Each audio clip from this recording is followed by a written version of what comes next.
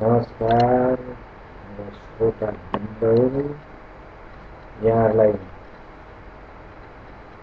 कथा श्रवण गर्नको लागि आमन्त्रित गर्दछु। सबैजना हातमा थोरै लिएर पुरुषोत्तम परमेश्वरीको कथा श्रवणको लागि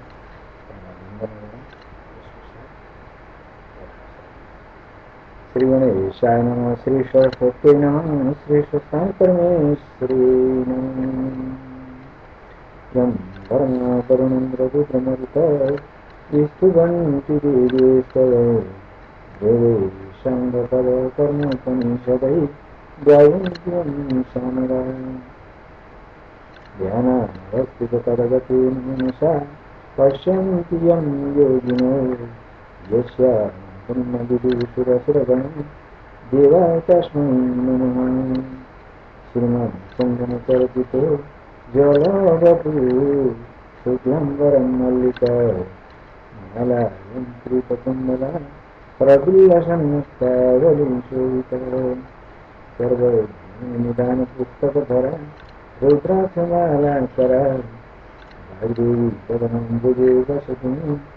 ත්‍රලෝකමනසකින් කරෝති බාසං සංගයතේ සියෙන් දෙතේ කිරපාතන සම්බන්දේ ප්‍රමෝනන්දනෝ භවමි නෝ භගවති තස්මි දසයං තේජසේ යසේ ප්‍රදාසයන් නරයන් පතාවින්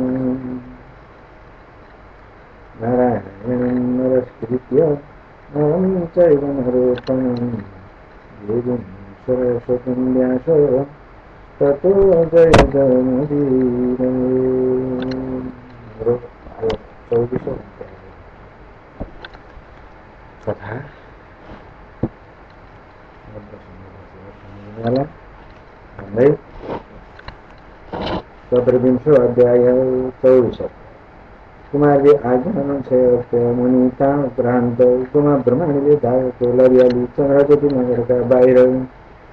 घरमा गई मेरो घरमा सत ऋषि आएका छन्। तिनलाई खान दिन्छु।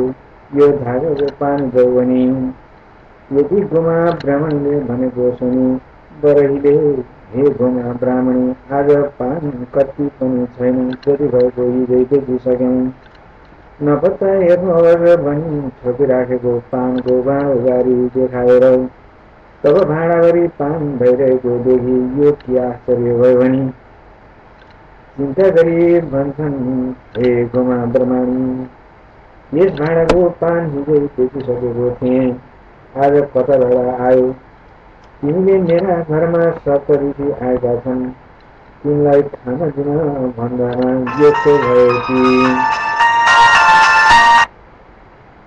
भयो भने बहुतै शर्ममानी तिमी धन्य त्यो धागो पनि लिन पान पनि लगिदिसीहरूलाई खान देऊ भनी आधा पान लाङ सुधारी समेत दिएर घुमा ब्राह्मणीले मनमा आनन्द गरी लाङ सुधारी आउँदा सप्त ऋषिहरूलाई नदेखि अरू थोक नभए पनि सप्त ऋषिलाई पानले पाउन मानी सम्मान गरिदियो भनेको म पातिनीका हातको पान खान पर्ला भनी गइसकेछन् म भित्ता रहेको भनी बिचमा गर्न इन्द्र धेरै बेरपछि हातमा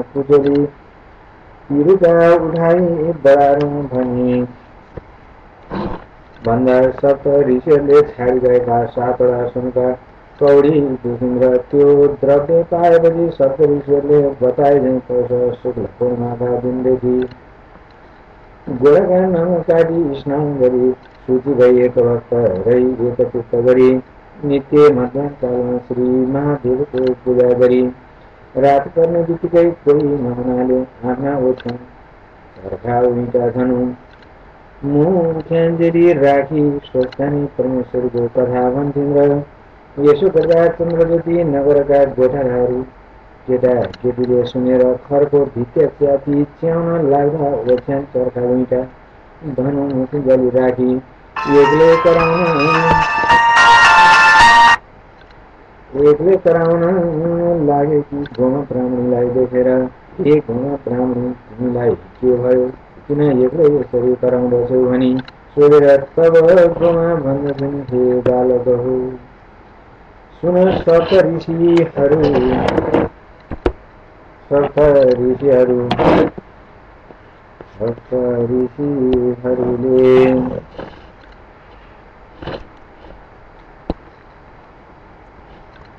हे बालको सुन सत्य ऋषिहरू आई। श्री स्वस्थानी परमेश्वरको व्रत गर भनी उपदेश गरिरहेर त्यही व्रत गरी श्री स्वस्थानी परमेश्वरको कथा हुनेको हो कराएकी होइन मलाई रोग भएको पनि छैन बौलाएकी पनि होइन सुन्नु कोही नहुँदा चर्खा उल्टा धनलाई सुनाउँदछु यदि कुमार ब्राह्मणीका वचन सुन्ने गोठाला केटाकेटीहरूले आफूहरूले दिउँसो खान अनि लगेका अन्न छाडी गएर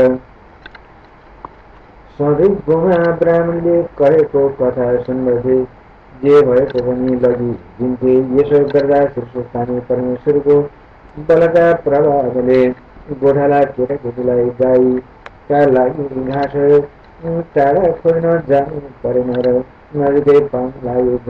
पनि अन्न वस्त्र द्रव्य गएर उपरान्त महिना दिनमा सम्पूर्ण सामग्री तयार गरी परमेश्वरको पूजा गरी ध्यान गरी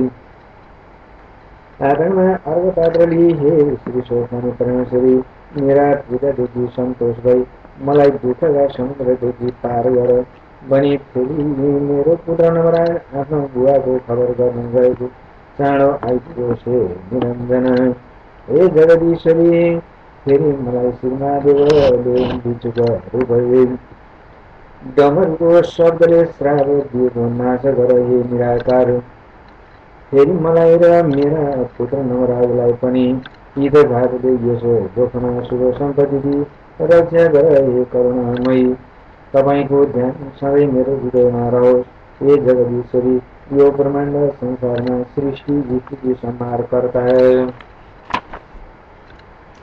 ब्रह्मा, विष्णु, महेश्वर भएकी आदि अनन्त नभएकी श्री यस्ती श्री सुस्तानी, परमेश्वरी तपाईँलाई मेरो कोटि कोटि प्रणाम छ हे पिनागधारी तिम्रा महिना वर्णन गर्न अनन्त निर्विशेष गएका सरस्वती बहिन यिनले पनि नसकेको के सकु मिरायो भनी स्तुति गरी अर्घ दिउँ र अर्घ दिइसकी कोटि कोटि प्रणाम गरी प्रहार भित्र गई अठहत्तर सय आठ रोटी आठ अक्षता आठ बेटी पुष्प आठ जनै आठ कुर्ता सुधारी सगुन समेत यो मेरो पुत्र नगराजलाई भनी पर सारी सय रोटी आफूले फलाहार गरिन् र रातिमा जागा भइरहन्। त्यसै दिन धेरै रात गएपछि श्री स्वस्थानी परमेश्वरका व्रतका प्रभावले नवराज आइपुगेर बाहिर बसी हे माता भनी बोलाए। गोमाले आफ्ना पुत्र नवराजको बोली सुनि। चिनिन र चाँडै उठी बाहिर आई। बिदा ढाकी लगिन्द्र बडो पृथ्वीले काखमा लिई पुत्र कुशल त छ कि तेरा खबर के छ भनी सोधिन् र माता मेरा पिता ऋषिका आश्रममा पुगी गङ्गामा स्नान गरी पूजा अनि रुखचरी फुल टिप्न लाग्दा रुखको हाँगो खसेर मरेछन् मलाई दीर्घ ब्राह्मणले कहेर रुख। रुखमुनि हेर्न गए हार रहेका रहेछन् गङ्गाका तिर्न लागि संस्कार गरी श्रद्धापूर्वक क्रिया गरी घर आउँ भनी आउँदा घरको दुःख सम्झी उसै कसो गरी जाउँ भनी सहरमा पशु राजाका सेवा गरिरहेर राजाले द्रव्य दिएर तपाईँका चरणमा आए तपाईँको दर्शन पाए यदि नराजले भनेपछि गुमा बहुतै अधैर्य भइदिएको निर्विवेकी विधाताले सत्तरी वर्षको बुढोसित सात वर्षकी मेरो विवाह गराइदियो। आज अयो यो अयोग्य भयो त्यही बुढो पुरुष पनि मेरो यस्तो यौवनका अवस्थामा मारिदिएर हे स्वामी भिक्षा माग्नु अनि गएका तिमीले मलाई एक्लै छाडी कता गयौ हे नाथ तिमी बिना मेरो प्राण कसो गरिरहला? जहाँ तिमी गयौ मलाई पनि लैजाऊ पनि रुटुक भई भूमिमा परिणमा कराले शोक गर्न लागिन। त्योदेखि नवराज भन्दछन् हे माता शोक नगर्नु यो संसारमा यस्तै छ। जन्मिकन को मर्दैन र यो फेरि सबैले मर्नु पर्दछ तसर्फले शोक गर्नु हुँदैन अब मेरो मुख हेर्नु पर्दछ तपाईँको बुहारी कहाँ छ यदिका दिनमा तपाईँहरूले के के खाइरहनु भयो तपाईँ पनि यसै बेलासम्म नसुति के गर्नुहुन्छ अनेक फलफुल चन्न धुप नाम सुगन्धको बासमा आउँदछ। हे माता के काम गर्नुभयो? आज्ञा होस्। यदि आफ्ना पुत्र नवराजले भनेको सुनि गुमा प्रमाणले धैर्य गरी नवरालाई हे पुत्र खादी खान आइस होला पनि लाग्यो होला भने। खाना दिन र खाइसकेपछि हे पुत्र नवराज फेरि स्त्री चन्द्रावती माइत गएकी छ मलाई तिम्रा छोरा आएपछि डाक्न पठाउनु भनेकी थिएँ मैले तँलाई सम्झी दुःख काटिरहेकी थिएँ। एक दिन सप्त विषयहरू आएर मेरो दुःख दुखी बडो दया गरी श्री स्वस्थानी परमेश्वरको व्रत गर। तिम्रो दुःख नाश होला इच्छा सिद्धि होला भनी उपदेश गरेर उनका उपदेशले मेरो पुत्र चाँड आइपुगोस् दुःख नाश होस् भनी श्री स्वस्थानी परमेश्वरको व्रत पूजा जागरण गर्दथे मनोरथ पूर्ण भयो अब तँलाई पनि उनको महिमा सुनाउँदछु एकचित भइसुँ यसो लोकमा शुभ सम्पत्ति पाएर परलोकमा मोक्ष होला पनि सम्पूर्ण कथा सुनाइन्छ ता उपरान्त उज्यालो भएर नवराज ब्राह्मणले भने के माता तपाईँ धन्य हुनुहुन्छ यति श्री शेषानी परमेश्वरको व्रत गर्नुभयो म सन्तोष भएँ अब गङ्गामा स्नान गरी आउँदछु भने बिदा भई स्नान गर्नु अनि गई स्नान गरिसके हरिहरको पूजा गर्दा गोमा ब्राह्मणीले गरेका स्वस्थानी परमेश्वरको व्रतका प्रभावले गङ्गादेवी हरिहर प्रत्यक्ष भई हे नवराज तेरो माता गोमा ब्राह्मणीले गरेको श्री परमेश्वरको व्रतका प्रभावले हामी सन्तोषमय वरदानले यस गङ्गादेखि दक्षिण दिशामा लाभन्ने देश छ त्यहाँ राजा छैनन् हात्तीलाई सुवर्ण कलश फुलको मालाले राजा खोज्न, खोज्नका खोज्नका लागि पठाएका छन् त त्यहाँ जा, हामी त्यस हात्तीमा प्रवेश भई राज्याभिषेक तँलाई दिलाउँला। राजा पनि प्रधान दिएर यति हरिहरले प्रधान दिएको सुनि नवराज स्थिति गर्न लागे एउटा शङ्ख कपाल भूषित करौ माला स्थित माला धरौ। देवौ द्वारवती श्मशान लयौ नानारिको वाहनौ विवेक्षौ बलि दक्ष यज्ञमथनौ मेघाद्रि राजा प्रभौ। पापं मे हरतां सदा हरिहरौ श्रीशैल जावल्लभौ हे हरिहर हारमा शङ्ख कपाल लिएका वनमाला अवस्थी अस्ति माला लागेका वनमाला अस्ति माला।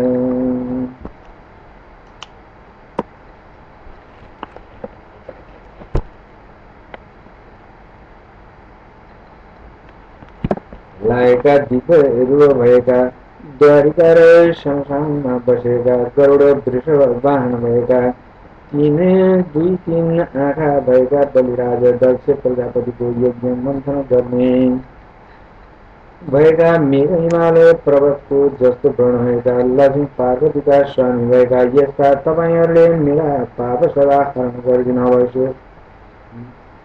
म माथि दया गरी अनाथ भइरहेका मलाई दर्शन दिनुभयो धन्य रहेछु मेरी मातारीका गर्भमा बास दिएको जन्म सफल भयो हे भक्त तपाईँ कस्ता भने दुष्ट जनको नाश गरी साधु जनको रक्षा गर्ने ब्रह्माण्ड संसारको सृष्टि गई पाप पुण्यको साक्षी भएका यस्ता तपाईँलाई कोटि कोटि प्रणाम छ तपाईँका मन प्रणाम गर्न हज़ार सक्दैनन् अरू कसले नै सक्ला र सधैँ तपाईँको भक्तिमा मेरो चित्त लागो सुन्न स्तुति गरेर तब हरिएर अन्तर ध्यान भए तीन महाराज ब्राह्मणले हरिहरको दर्शन पाएपछि सूर्यको जस्तो तेज गराएर यस्तो तेज भएको नरालाई जगन्तमणिले दिदी आश्चर्य मानि भन्दछन् हे रता अति नै तेज भन्छ छ भन्छ छ भन्दछ त्यसै हो कि मेरो चित्त भ्रान्ति हो। देवराज इन्द्रभन्दा पनि सुन्दर देख्दछु। यति आँटी महातारीले भनेपछि नवराज ब्राह्मण स्नान गर्न जाँदा गङ्गादेखि हरिहर प्रत्यक्ष भएका कुरा लाउने देशका राजालाई पनि प्रदान दिएको वृत्तान्त हे माता। तपाईँका तपस्या प्रभावले म यस्तो भएँ भने यदि नमराजले कहेको सुनि प्राणी खुसी भई भनिन्थे पुत्र। मेरो पुत्र चाँडा आइपुग्यो सुनि श्री परमेश्वरको व्रत गरेथे राति त आइपुगिस् तँलाई प्रसाद राखिदिएको छला यस्तो यस्ती श्री सुस्तानी परमेश्वरीले तेरा सदा कल्याण गरून् त पनि सधैँ उनका भक्तिमा चित्त लगाएछ भने पुरुषोत्तानी परमेश्वरको प्रसाद प्रसादमा आठ रोटी आठ अक्षता आठ बेली पुष्प आठ यज्ञ सूत्र आठ पान आठ कुर्का सुपारी सपना समेत हे पुत्रहरू त हरिहरको आज्ञाले लावण्य देशका राजा भएस भनी। कपालमा हात राखी आशिष दिन र नवराजा ब्राह्मणले पनि शीर्षस्थानी परमेश्वरको प्रसाद खाई अवश्य पनि महातारिका चरणमा प्रणाम गरी लावने देशमा राजाको खोज्ने प्रबन्ध रहेका ठाउँ गएर बसे। श्री शम्भुराई केदार खण्डी महात्मे कुमार अगस्त्य सम्वादे शीर्षस्थानी परमेश्वरीय व्रत कथायां गोमा शीर्षस्थानी व्रत कृतो नाम चतुर्विंशो अध्याय हरि परम पिता परमेश्वरले लाउनुहुन्छ पार श्री स्वस्तानी परमेश्वरीलाई मंदे नमस्कार। मंदे नमस्कार मन्ये नमस्कार। श्रीशोस्थाने शरीरलाई मन्ये नमस्कार। फेरि हातमा फुलासेर पारिदिने पुष्पाञ्जली भन्ने उपनयन मंगल सकल गगन गगनमालालय श्रीमान दिनकरं कृष्ण। काले देशो अहं ब्रह्माण्ड सन्तु निर्भया। अपुत्रा सन्तु निर्भया। निर्धना शरणा सन्तु जीवन्तु सर्वा शतं तत्रैव गङ्गा, यमुना च तत्र गोदावरी सिन्धु सरस्वती च। तीर्थानि सर्वाणि वसन्ति तत्र। यत्र कथा प्रसङ्गो। या पुण्यन्तसारो या शुभ्रवस्त्रभृता या वीणा प्रसङ्गमण्डितपरा या श्वेतपद्मासना या परमार्चिता शङ्करप्रवृत्तिः वेदविशदा पण्डिता श्यामां पाद सरस्वती भगवती निशेषजाभ्यापाय कायेन भागं मनसिं देर्वा बुद्ध्यर्मनः नमस्ते। पार्श्वदा वा करोमि यदि सकलसमये नारायणकी समरूपयत श्री स्वस्ताय परमेश्वरी सुनिदिनुभएका श्रोताजनलाई धेरै धेरै धन्यवाद।